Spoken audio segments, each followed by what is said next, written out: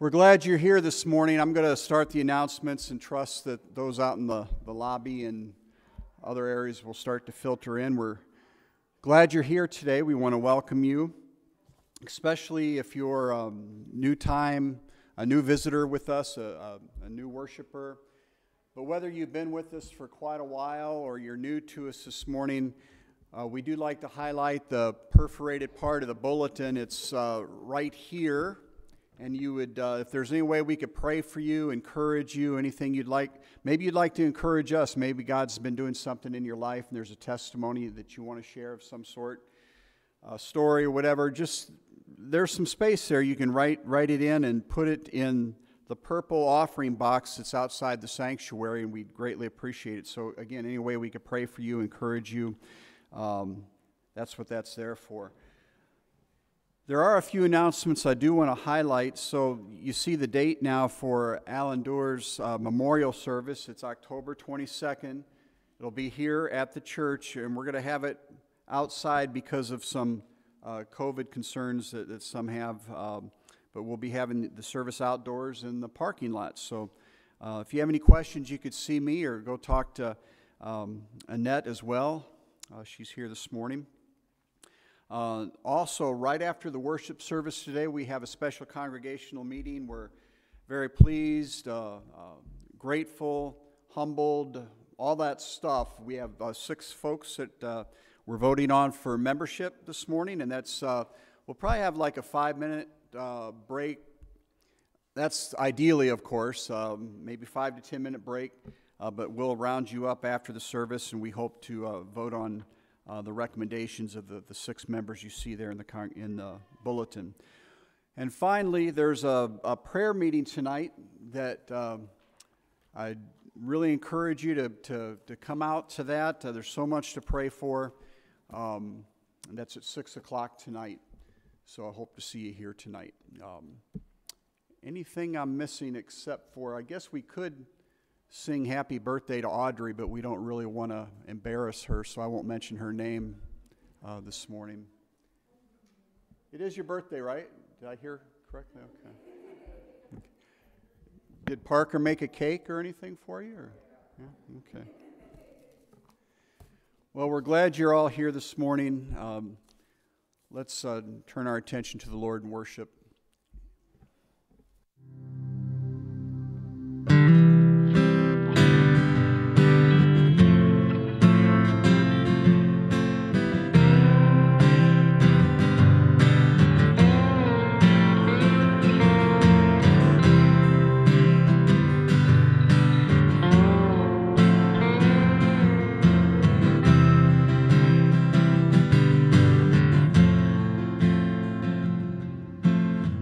Darkness tries to roll over my bones.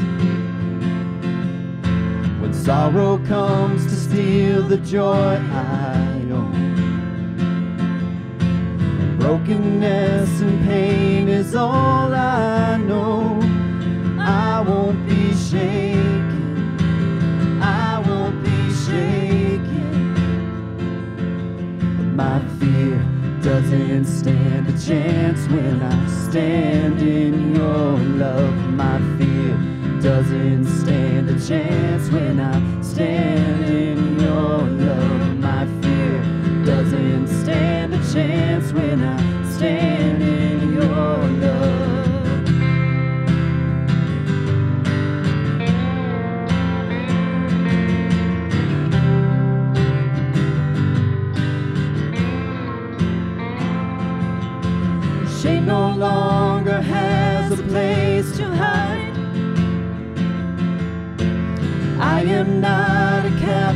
to the lies.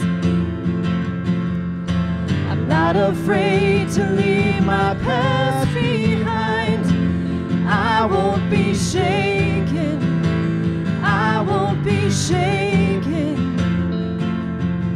My fear doesn't stand a chance when I stand in your love. My fear doesn't stand a chance when I stand in your love. My fear doesn't stand a chance when I stand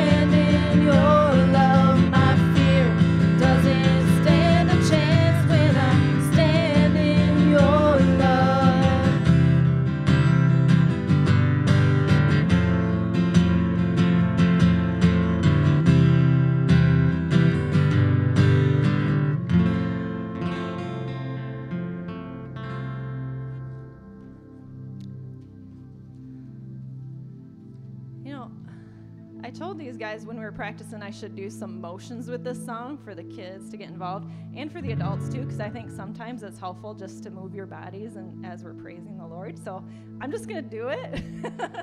and the, it might seem corny, but it'll just help us get into the song and remember. So if the kids would help us along with some of these too, they're just very simple.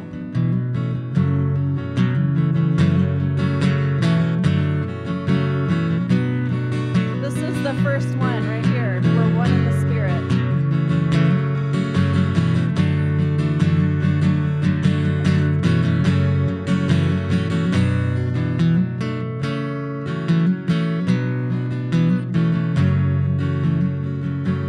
We are one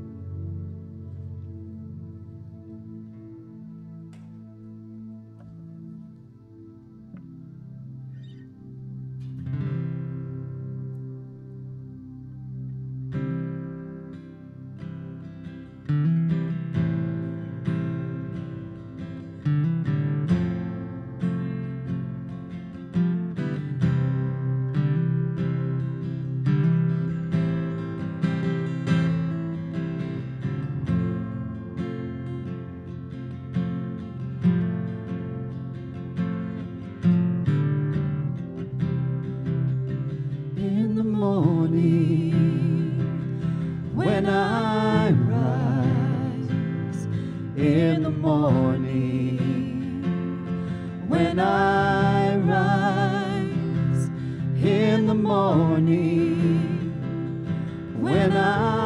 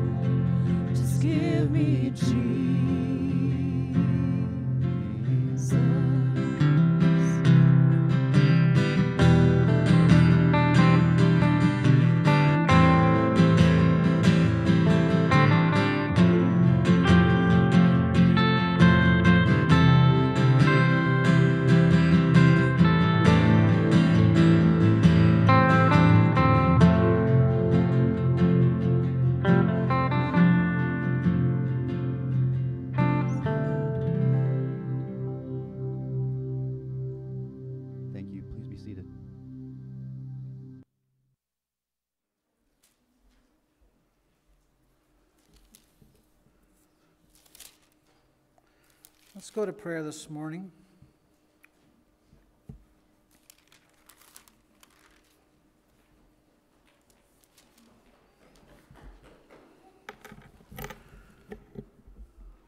Heavenly Father, you are our rock and our refuge, our strength and stronghold, an ever present help in time of need. Therefore, because of you, the fact that you are a rock and refuge and an ever present stronghold in time of need, there because of that we will not fear. Though the earth give way and the mountains fall into the heart of the sea, though its waters roar and foam and the mountains quake with their surging, we know that there is a river whose streams make glad the city of God, the holy place where the Most High dwells. God is within her, and she will not fail. God will help her at the break of day. Nations are in uproar, kingdoms fall, and that's what we're experiencing right now in our days. But you lift up your voice, and the earth melts. The Lord Almighty is with us, God with us, Emmanuel. The God of Jacob is our fortress. Let's come and see the works of your hand, Lord, the desolations you brought on the earth. You make wars cease in the ends of the earth, and you break the bow, and you shatter the spear. You burn the shields with fire. Be still and know that I am God. I will be exalted among the nations, I will be exalted on the earth. The Lord Almighty God is with us. The city of Jacob is our fortress. Father, this morning, we want to quiet our hearts before you. As you, as you say, cease striving and know that I am God. And um, we're, we're a people full of fear and full of anxiety, full of stress. But we know that greater is He that is in us than He that is in the world. We thank you again that you are a rock and refuge and strength and stronghold, an ever present help in time of need. Father, this morning, I just pray that our hearts will be quiet before you for a minute or so and just rest in that, in that knowledge, in that truth that you are a shepherd, that you're going to take care of us. That again, though we may not know what our future holds, we know who holds our future. And just with the knowledge that we can cast our anxieties on you, for you care for us. And we know that you will give us perfect peace when our minds are fixed on you, the author and perfecter of our faith. And so, just in this minute, I pray that you would help us to quiet our hearts before you, cease striving in our lives, and just know that you are God.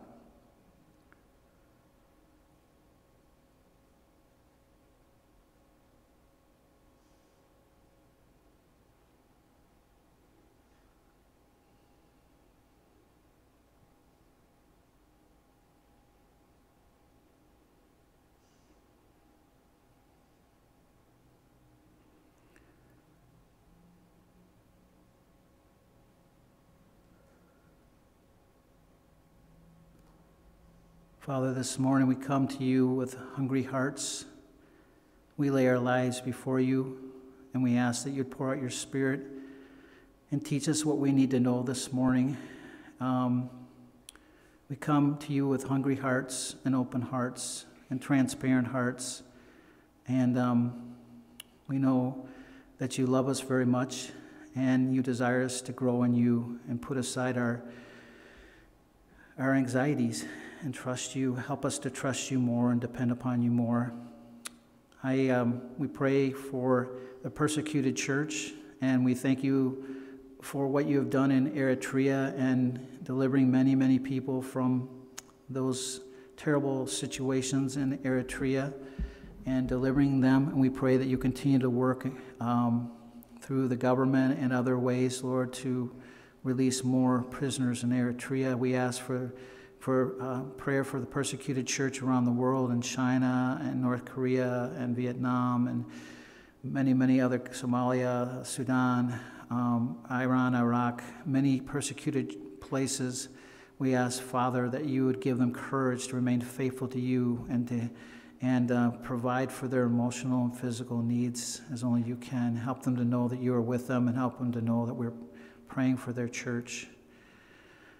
We pray for Bob Shea, and we just ask you to be with him as he goes in for more tests and just anxiety and fear. And I just pray that you would wrap him up with your love.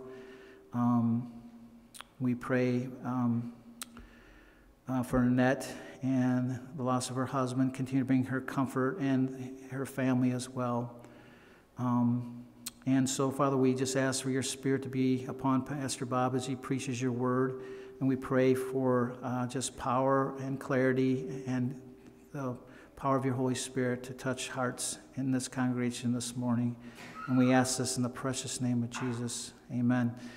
Let's uh, continue to pray as the Lord has taught us to pray. Our Father, who art in heaven, hallowed be thy name. Thy kingdom come, thy will be done on earth as it is in heaven. Give us this day our daily bread, and forgive us our sins as we forgive those who sinned against us. And lead us not into temptation, but deliver us from evil. For thine is the kingdom and the power and the glory forever and ever. Amen.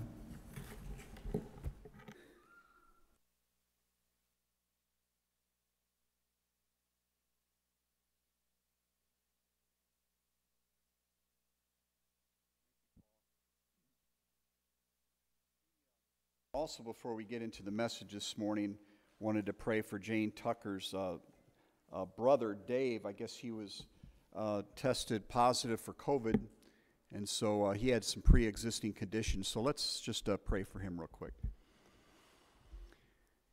Father, you alone know Dave's heart. He probably, I mean, none of us really even know fully ourselves, and he perhaps doesn't know what to think about this or how to deal with this.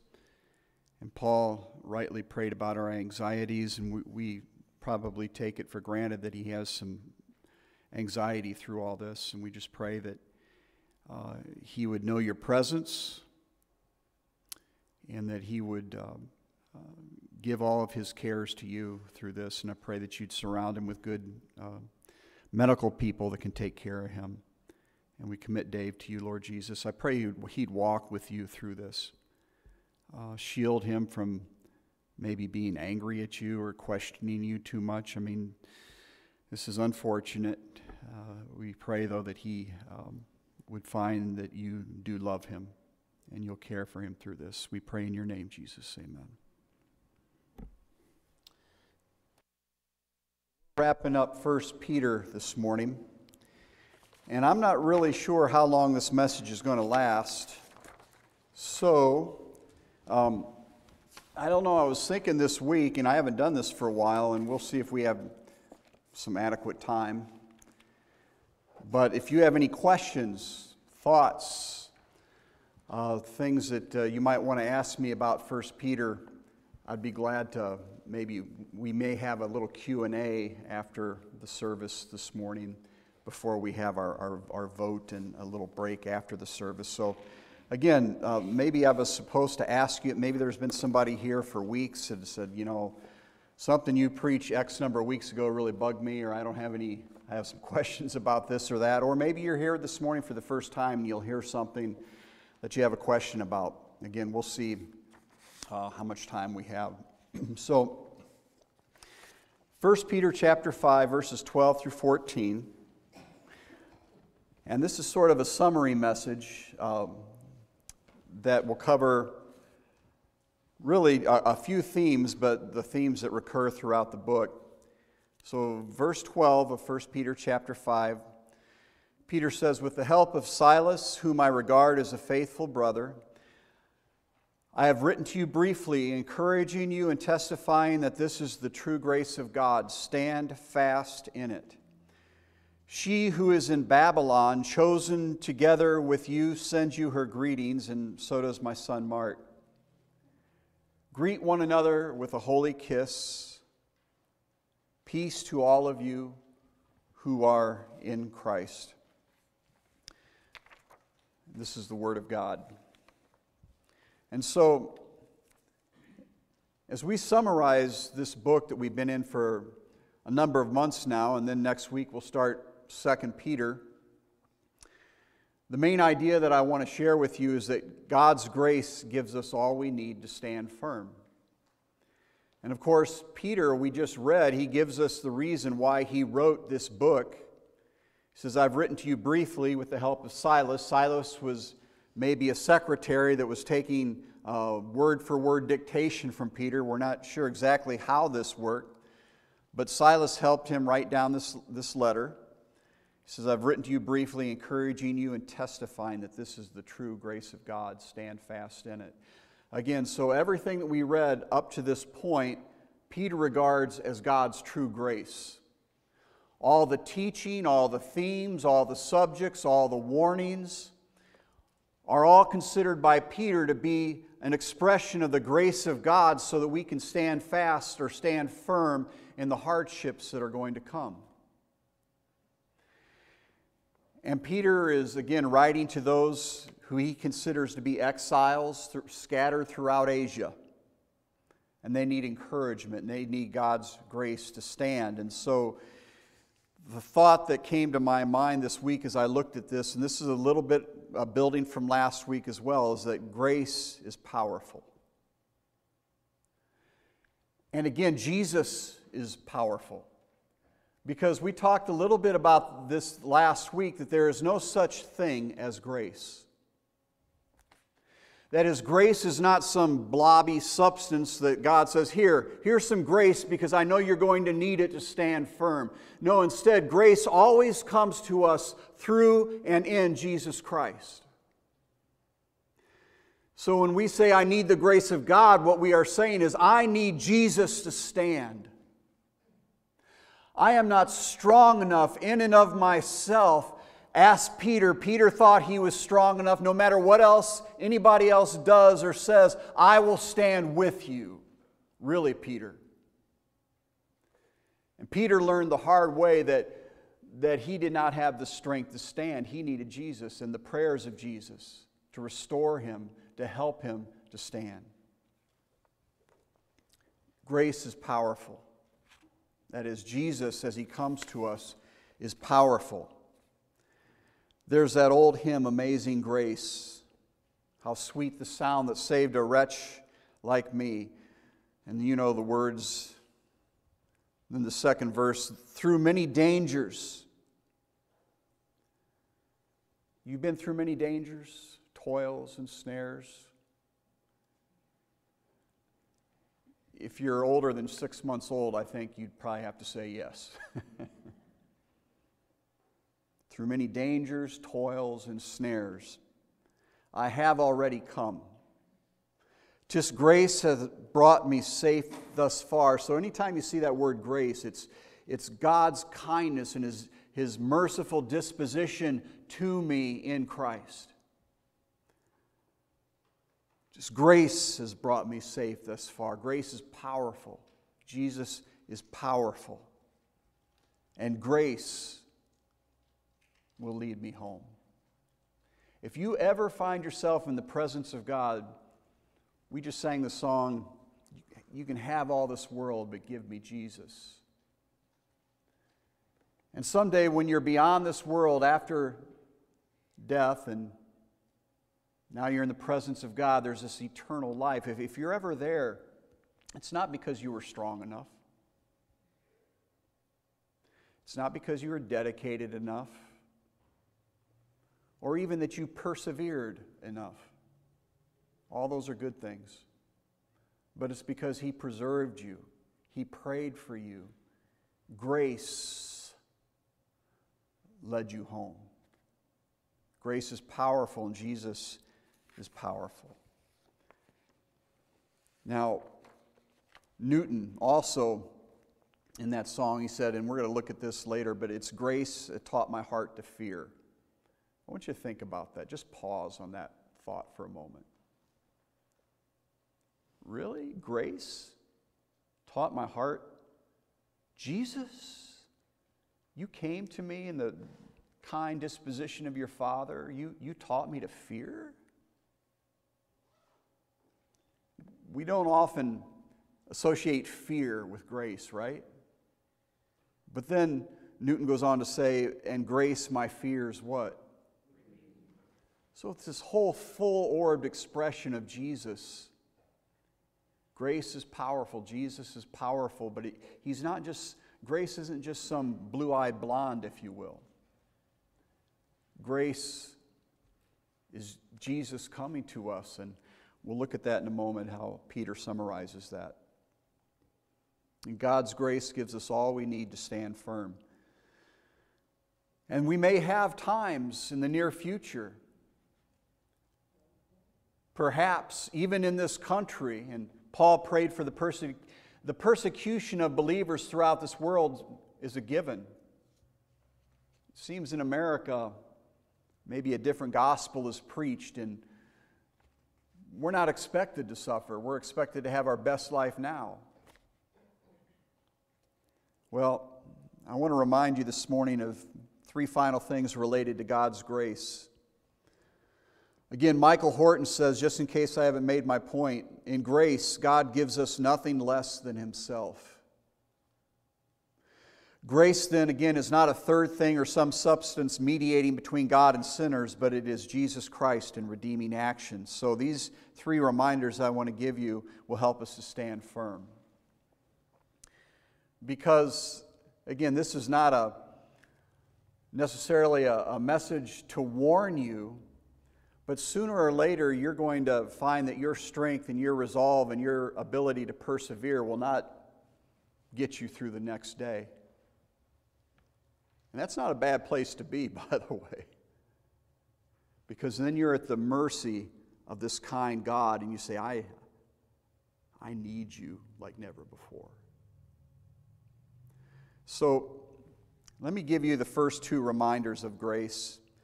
And these first two are going to kind of morph into each other, and they'll, I'll spend more time there and then a little shorter time on the third reminder. But first of all, Grace is, a, is encouraging and costly. If you look at verse 12, again, Peter says, With the help of Silas, whom I regard as a faithful brother, I have written to you briefly, encouraging you. Parakalo is the, the Greek word, it's the, the parakalith, the, the, the, the, encouragement, and the Holy Spirit is called this as well. I, I have written to you briefly, encouraging you and testifying. That word testifying has has a, a core word related to our English word martyr. So Peter says, I'm, I'm, I'm writing to you this grace of God. I'm encouraging you in this grace, but I'm also testifying or, or, or being a witness. That word is also translated testifying or witnessing. Again, it's related to our English word martyr. Then go back to chapter 5, verse 1.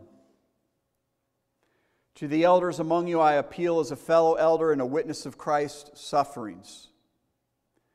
That word appeal is the same word parakalo. I appeal, I, I encourage, but as a, a fellow elder and a witness or a martus, martyr of Christ's sufferings. I think the connotation here is that when grace is given to us and when we experience the coming of Jesus, it's both encouraging, but it's going to cost us. And so we need to remember that grace is encouraging and costly. The pairing of these two words in the space of 12 verses, if you will, not that they had verses when Peter wrote this, but chapter 5, verse 1, then chapter 5, verse 12, you have both the encouragement and the martyrdom, if I can say it that way. Now, this word wasn't originally used in the sense of martyrdom, but it, it quickly took on those connotations. You ever heard of the phrase cheap grace? Cheap grace really is an oxymoron. Following Jesus, from whom all grace comes, will cost us our lives. It must cost us our lives. Any other kind of grace that is, that, that is not costly will not motivate us to stand firm. It'll be too cheap to die for. The other day I was sitting in my study and there was this old classic Cadillac. It was a 49 Cadillac pulled up. And then a 52 Cadillac, and then a, if I remember right, a 56, and then a 46. I mean, there are four different Cadillacs parked outside my, my, uh, my study. They're beautiful. We went out, took some pictures. I'll show you some pictures. There's a pink one, too. a pink Cadillac. I think those were costly vehicles. I had a friend when I was growing up in high school, he had a Ford Pinto. You remember the Ford Pintos? Some of you are too young to remember those death traps.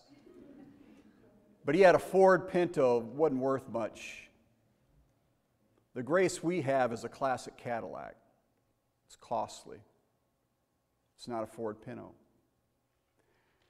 Let me read you just a few words from Dietrich Bonhoeffer in his book, The Cost of Discipleship.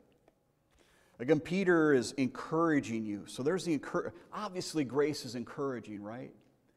That we have this one way love that no matter what we do or how many times we fail, Jesus is there for us to restore us, to pray for us, to care for us, to love us. That's encouraging, right? The costly part we need reminded of. And this is what Bonhoeffer, he was a martyr in World War II, and this is what he says in his book, The Cost of Discipleship. Cheap grace is the preaching of forgiveness without requiring repentance. Baptism without church discipline, communion without confession, absolution without personal confession, and cheap grace is grace without discipleship again. It's without the cross, grace without Jesus Christ. How can you have grace without Jesus Christ? That's one of the points I've been trying to make. Then he says, Costly grace is the treasure hidden in the field. For the sake of it, a man will go and sell all he has. I, I want that pink Cadillac. It is the pearl of great price to buy which the merchant will sell all of his goods. It is the kingly rule of Christ, for whose sake a man will pluck out the eye which causes him to stumble. It is the call of Jesus Christ at which the disciple leaves his nets and follows him. Costly grace is the gospel which must be sought again and again, the gift which must be asked for, the door at which a man must knock. Such grace is costly because it calls us to follow.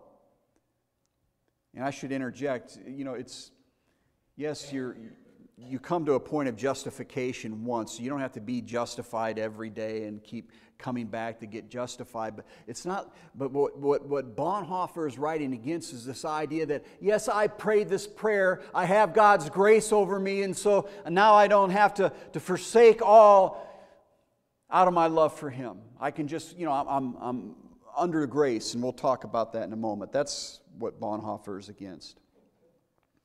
So he says, such grace is costly because it cause, calls us to follow. And it is grace because it calls us to follow Jesus Christ.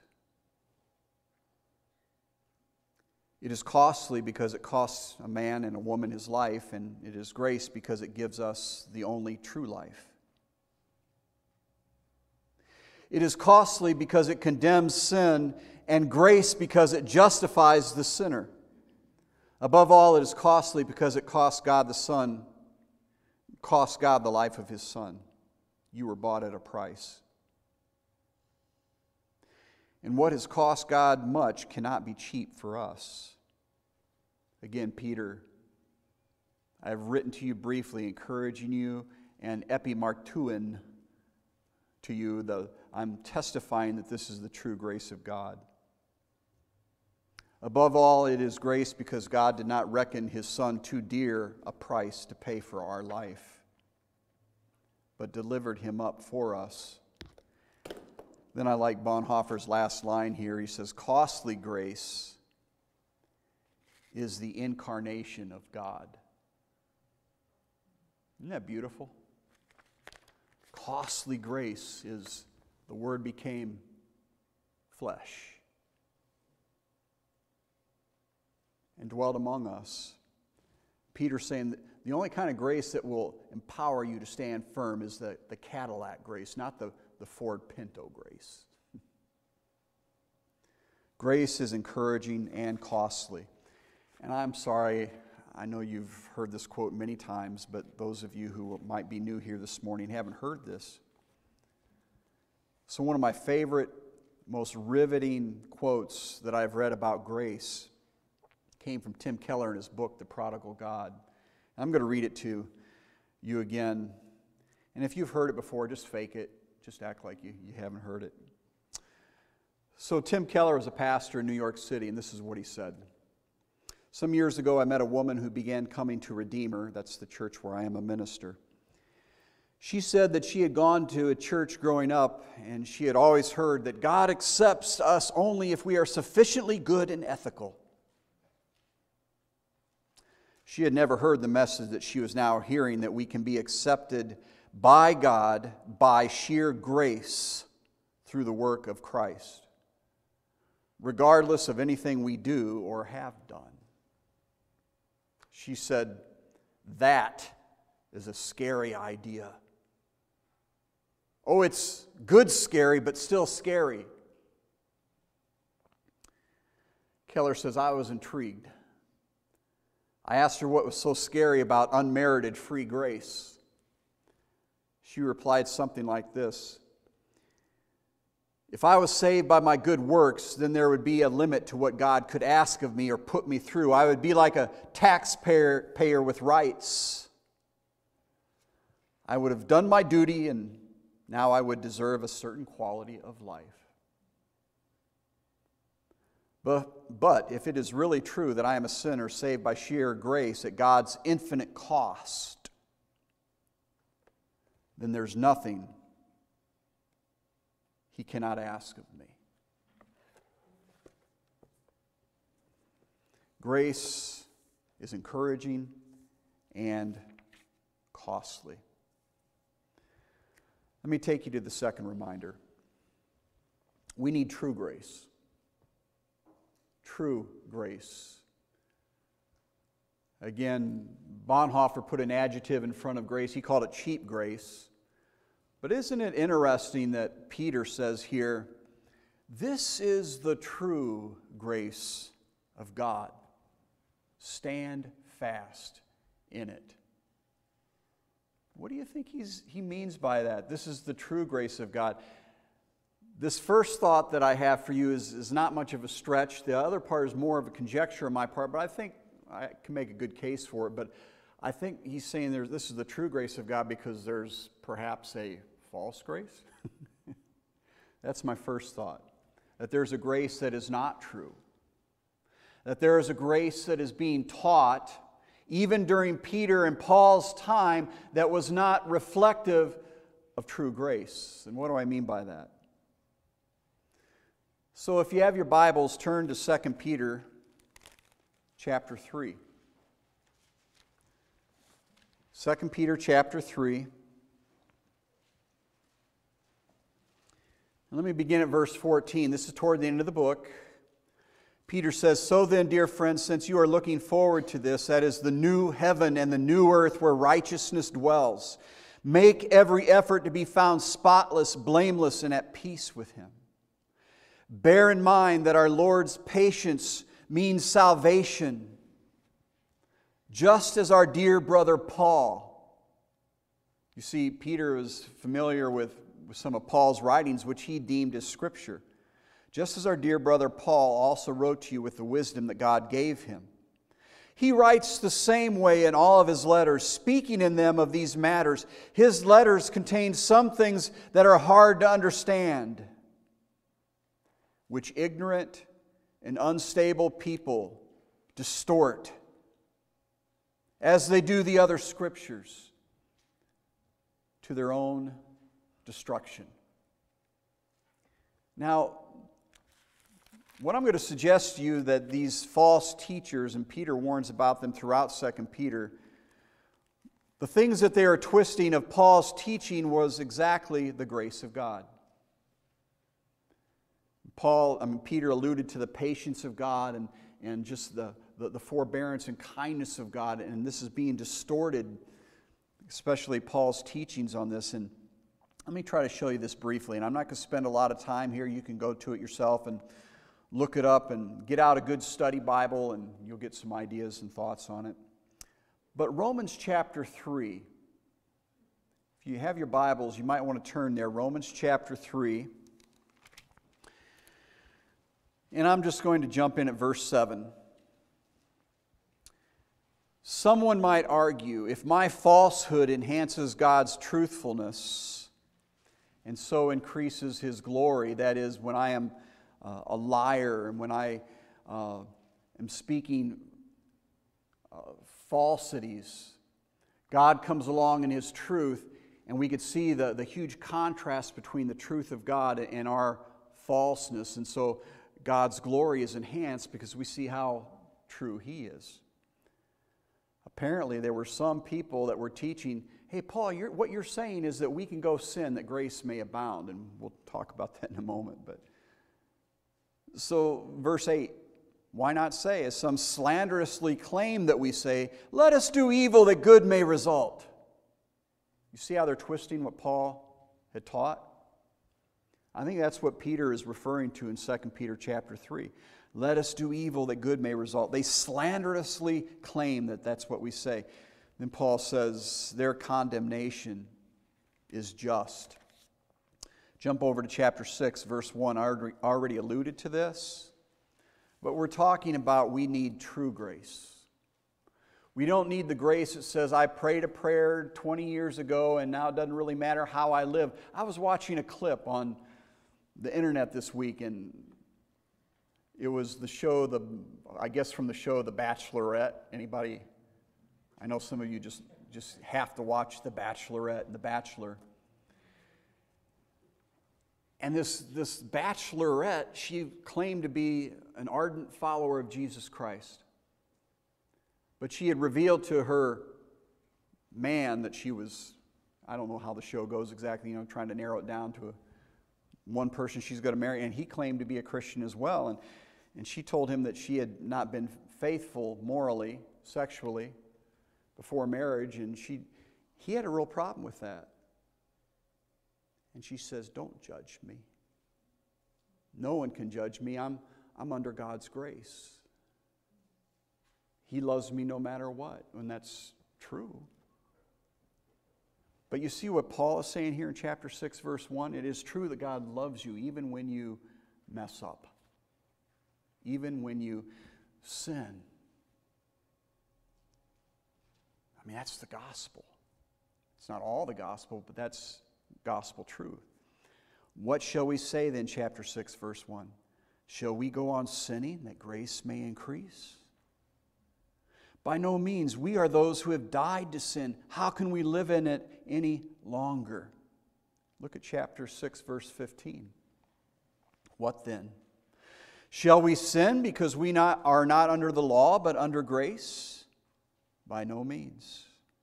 Don't you know that when you offer yourselves to someone as obedient slaves, you are slaves to the one you obey, whether you are slaves to sin, which leads to death, or to obedience, which leads to righteousness? You see, Paul was being accused of preaching the big word that theologians like to use as antinomianism. That means against the law. That is, if I'm a follower of Jesus Christ, I no longer have to keep the law. Well, you no longer have to keep the law to be saved. And you never, we never kept the law to be saved. None of us could ever keep the law. The law only showed us how, fall we, how short we fell. If someone, when that wrote on that pink Cadillac that drove up the other day, don't touch the pink Cadillac, you know what I would want to do? I did touch it, by the way, but they didn't have a sign on it, though. But Anyway, true grace. Now, this isn't the point of my sermon, but let me just take a quick pause here, a little side trail. Martyn Lloyd-Jones, he was a British preacher. I think he died in 62, 63. But he says, if you are not accused of antinomianism whenever you are preaching the gospel of God's grace, you are probably not preaching the gospel of God's grace. Because Paul was misunderstood as saying, look, doesn't matter, I'm under grace, I can live any way I want. what Peter is trying to say at the end of 1 Peter is that that kind of grace, that kind of false grace, will not motivate you and move you and inspire you and empower you to stand firm. Who wants to die for a pinto? Right? Who will stand firm for that kind of cheapness? But it cost Jesus his life. That's what motivates us to stand firm. Now, we're going back to Newton, uh, John Newton. He wrote many different hymns, not just Amazing Grace, but I'm going to finish up this point with just this line from one of his songs. He said, Our pleasure and our duty, though opposite before, since we have seen his beauty, are joined to part no more.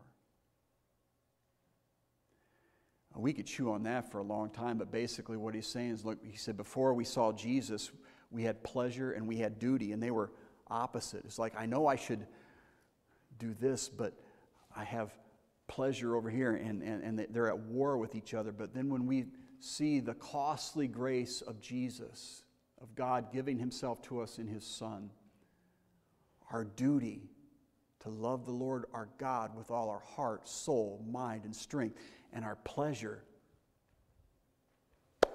they join. Depart no more. And that's what Peter is calling us to. I want you to stand firm in the true grace of God, a grace that is costly. Now, last of all, grace empowers us as exiles. If you look at verse 13, Peter said, She who is in Babylon. Babylon? What, what, what are you talking about, Peter? This is a code word, especially, it's used many, many different times in the book of Revelation, by the way. But she who is in Babylon, you have any idea where that is? It's Rome, probably, most likely. It's kind of a way to protect the believers who are in Rome. But Babylon, who in the Old Testament, that stood for just about anything and everything ungodly and full of pride and self. Peter is saying the church who is in Rome or Babylon chosen together with you, sends her greetings, and so does my son Mark. Greet one another with a kiss of love. That was probably pre COVID, in case you, you need to know that. Then peace to all of you who are in Christ. Did you see the tension there? There's in Babylon, and there's in Christ. So, the point I want to make in your outline, if you're following, is that we reside in Babylon, Rome, Grand Rapids, New York City, Portland. You, you, you fill in the city or the town. We, we, live, we reside there. But we live in Christ. And that really is one of the big mega themes throughout the whole book. is he, he starts off the book addressing the exiles scattered throughout the provinces of Pontus, Galatia, Cappadocia, and Bithynia. So you're scattered, you're, you're uh, residing in Babylon, but then verse 2 of 1 Peter chapter 1 who have been chosen according to the foreknowledge of God the Father through the sanctifying work of the Spirit to be obedient to Jesus Christ sprinkled with his blood. Grace and peace be yours in abundance. So we reside in Babylon, but we live in Christ. I'm going to read you just a couple verses from, from Hebrews. Hebrews chapter 11. I just, I just love how the writer there lays this out. By faith, Abraham, when he called to go to a place he would later receive as his inheritance, obeyed and went even though he did not know where he was going. By faith, he made his home in the promised land like a stranger in a foreign country. He lived in tents. T E N T S. You jump over to verse 13. All these people were still living by faith when they died. They did not receive the things promised, they only saw them and welcomed them from a distance, admitting that they were foreigners and strangers on earth. People who say such things show that they are looking for a country of their own. If they had been thinking of the country they had left, they would have had opportunity to return. Instead, they were longing for a better country, a heavenly one. Therefore, God is not ashamed to be called their God, for he has prepared a city for them. I love that metaphor of a tent. A lot of you know that I like to hike. The last time I hiked, I brought some steel rebar, some mortar, and some brick. Put it in my backpack, and I was going to build a real enduring structure on the trail. Say, no. you brought the lightest tent that you could carry. and why? That trail's a temporary place. It was not meant to, to build some magnificent structure and settle down and say, I'm going to find my significance, my security in Babylon, in Rome, because you won't find it. You just won't find it here. If you have the Holy Spirit of God within you, right now He is groaning, groaning, calling you to your eternal home. It doesn't mean that you can't enjoy this, this, this world and the, the, the gifts that God gives you here in this, in this world, but it's never going to fully satisfy. It's not meant to. The gifts are meant to evoke you and to get, create a longing to you to, to say, I've got a better home that I'm looking forward to whose builder and maker is God. So God's grace empowers us to live as exiles because when stuff comes down and the persecution and the suffering comes, we're not going to be surprised at the painful suffering that we're going through on behalf of Christ, especially if it's on behalf of Christ. It's like, He said it was coming. I can stand firm. I don't have to have everything work out perfectly here. It's not meant to. Final question and assurance, and then I think I might have a couple minutes to open it up. The question is Will we stand firm till the end? Especially when persecution and suffering come. We will if our faith is in the God of all grace. He, not our resolve, just ask Peter. He guarantees our inheritance, and through faith will shield us by his power. So, anybody have a real easy question you might want to ask me or any felt like maybe this might be a good thing, way to wrap up the series on 1 Peter. Any thoughts? If not, that's fine. We'll go to our benediction. But any, any questions, comments?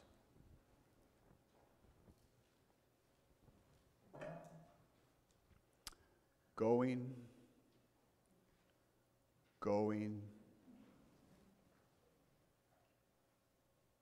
Okay, let's stand for our benediction then.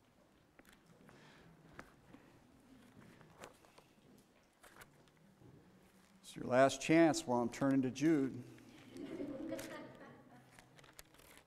Okay.